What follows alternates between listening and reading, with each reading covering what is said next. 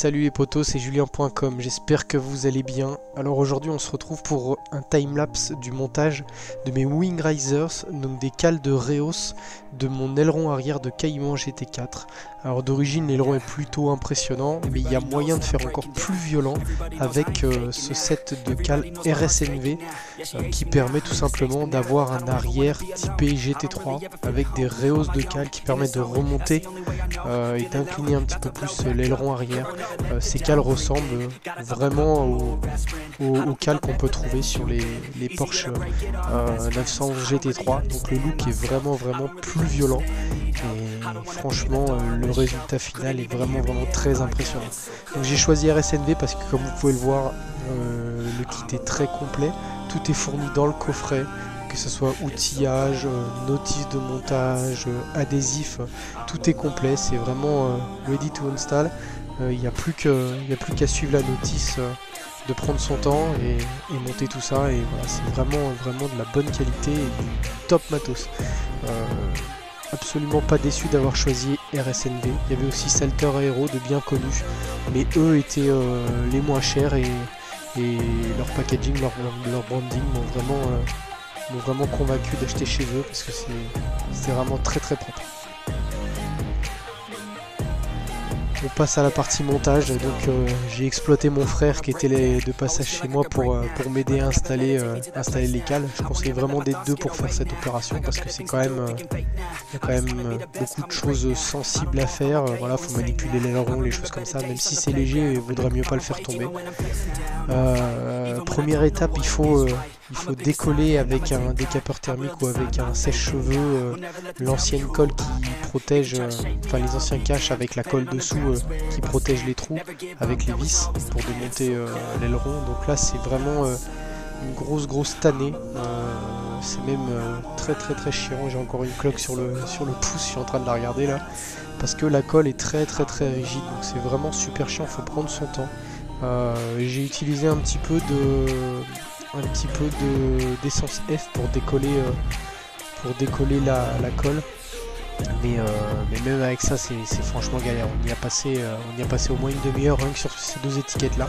Sur la notice c'était marqué hein, vraiment c'est la partie la plus chiante. Et je confirme que c'est la partie la partie la plus chiante. En plus on peut faire ça à l'arrache et laisser la colle, il n'y a pas de problème. Hein. mais bon là comme ça GT4 on essaie quand même de faire relativement attention à ce qu'on fait. Euh, mais, vraiment là c'était euh, c'était une tannée, c'était pas vraiment la bonne partie du boulot. Heureusement que mon frère était là pour, euh, pour faire l'autre côté pendant que moi je faisais un côté parce que faire deux fois ça ça m'aurait gonflé. Donc là on voit que j'utilise un j'utilise un coton pour essayer de pas trop rayer avec un petit peu d'essence F. Et puis j'y vais doucement, j'ai regardé que ça enlève pas le vernis ni quoi que ce soit donc ça j'ai vu aucune trace de jaune sur le, sur le coton et encore heureux. Mais, euh, voilà, faut vraiment, euh, faut vraiment être patient, faut vraiment prendre son temps avec, euh, avec cette opération. That she wears Short skirt and a jacket. I just wanna get her all alone on a mattress. I just wanna have it, I just gotta have it. Rumors all around say her body is fantastic. All natural, not a piece of fur her toes, yeah they say that she's a latch Yeah the whispers all around say she has a reputation. Don't believe it till I see it, so I want a demonstration And I've always learned it better Bon là on voit qu'on arrive à la fin du, à la fin du scotch, on commence à nettoyer tout propre pour plus avoir de, plus avoir de traces. J'ai décidé de ne pas remettre les, les caches en plastique pour la suite étant donné que bon, je les stocke dans un coin et le jour où je revendrai le GT4 euh, je remettrai en cale d'origine donc je remettrai les, les, petites caches plastiques de finition à, à ce moment là je me suis pas pris la tête avec ça.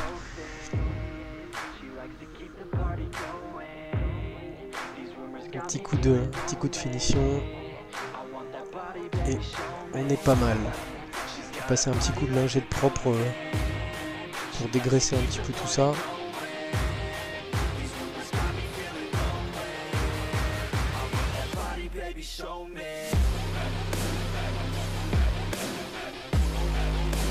On attaque tranquillement le, démontage de, des cales d'origine. Donc il faut trouver les bons embouts et des torques.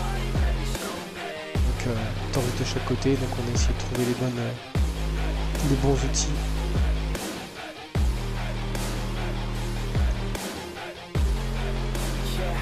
Hop, on met un petit plaid sur le toit pour euh, poser l'aileron quand il sera déposé. Le démontage se fait très simplement. Il y a un petit peu de, il y a un petit peu de batte, patte qui bloque, euh, qui bloque les vis d'origine.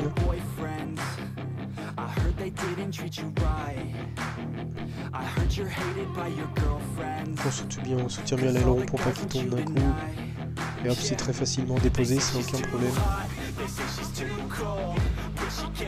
Hop, sur le toit, tout de suite ça a beaucoup moins de gueule un GT4 sans aileron. Là, on s'amuse à essayer de faire euh, des photos et essayer de prendre la différence entre avant et, euh, après les cales. Là je pose du scotch tout autour des, petites, euh, des petites finitions de, des cales d'origine pour pouvoir les décoller. Vu qu'il va falloir faire le vie avec un outil, encore une fois chauffé pour coller, pour décoller l'adhésif. Là c'est toujours pareil, il faut prendre son temps. Mais là ça se décolle quand même beaucoup beaucoup mieux. Hop, c'est parti tout seul. côté pareil. Chauffer un petit peu avec les petites cales fournies par un SNV. Il juste d'enlever le support, ça ça part tout seul. Donc là on repasse encore à une deuxième étape euh, après nettoyage de, nettoyage de colle. Là on peut enfin, enfin enlever les cales. Juste de vis sur les côtés.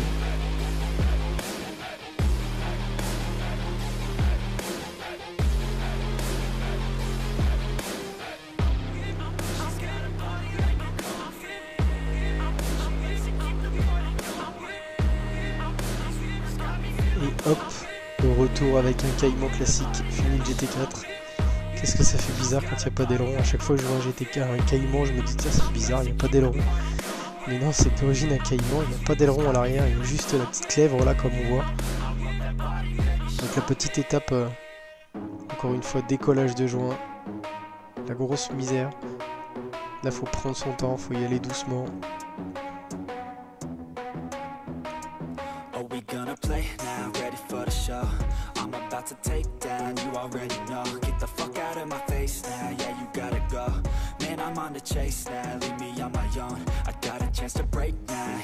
Donc là je me suis appuyé sur un chiffon pour, euh, pour pas rayer la, la carrosserie quand je frotte avec mes doigts, pas laisser trop de marques.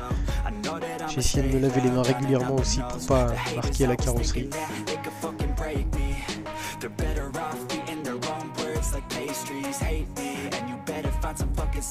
Je pense que c'est là que j'ai dû faire ma petite cloque au pouce, force de frotter avec le même pouce tout le temps et puis chauffer.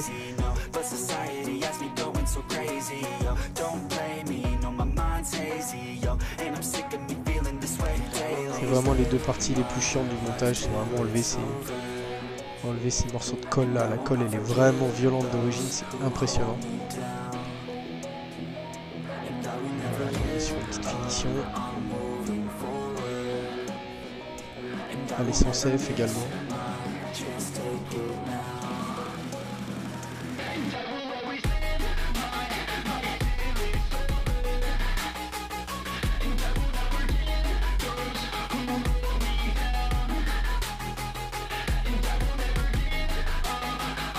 Et là on attaque le montage des nouvelles cales.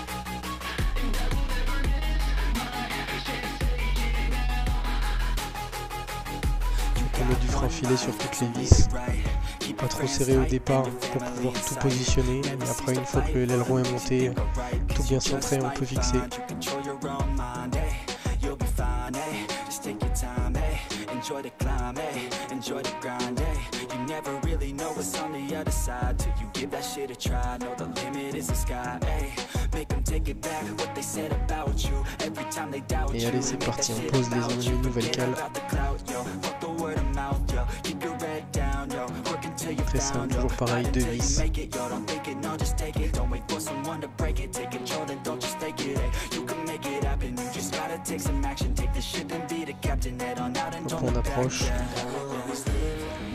Un petit peu de frein filet sur le bout des vis.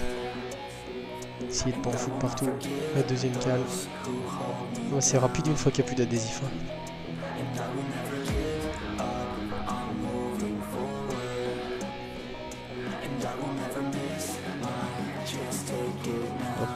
pas de mettre les petits caches de finition avant de remettre l'aileron.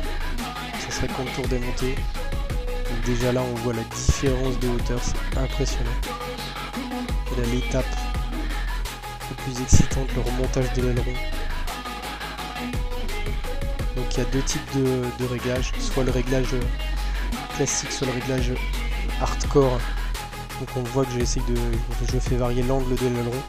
Le réglage le plus hard, ça fait vraiment aérofrein. Donc j'ai retenu, vous, vous doutez bien, le réglage le plus hard. Donc qui doit quand même pénaliser la vitesse de pointe, mais qui doit. qui est censé donner plus d'appui euh, dans les courbes. C'est celui aussi euh, qui permet le moins de visibilité à l'arrière aussi, donc il faut faire attention. Et voilà, resserrage de l'aileron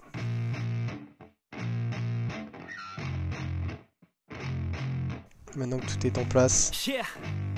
I spit raps like a heart attack. Fast, fatal, hard impact Past painful scars In fact, I blast tasteful bars and pass. I back up my actions. Avec le sourire, ça va passer deux heures.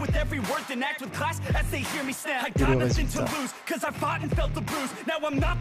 Bon les gars, j'espère que cette petite vidéo à l'arrache vous aura plu. Moi je vous dis à la prochaine. Allez, ciao. Everybody wants a piece now. Y'all can rest in peace now. You're dead to me, so peace out. Remember you just freaked out Get ready for defeat now. I'm gonna make you bleed out. Listen on repeat now and weed out all the weak now. Get up and make a change, don't remember yesterday. If you got something to say, speak your mind before your grave. Cause your life is yours to save. Ain't nobody gonna change, everybody stays the same. So be different, make and a name, like huh? A soldier, I keep on moving forward. Always getting closer. Marching till it's over. And just like a soldier I keep on moving forward. Always getting closer. I'm marching till it's over. I'm just like a soldier.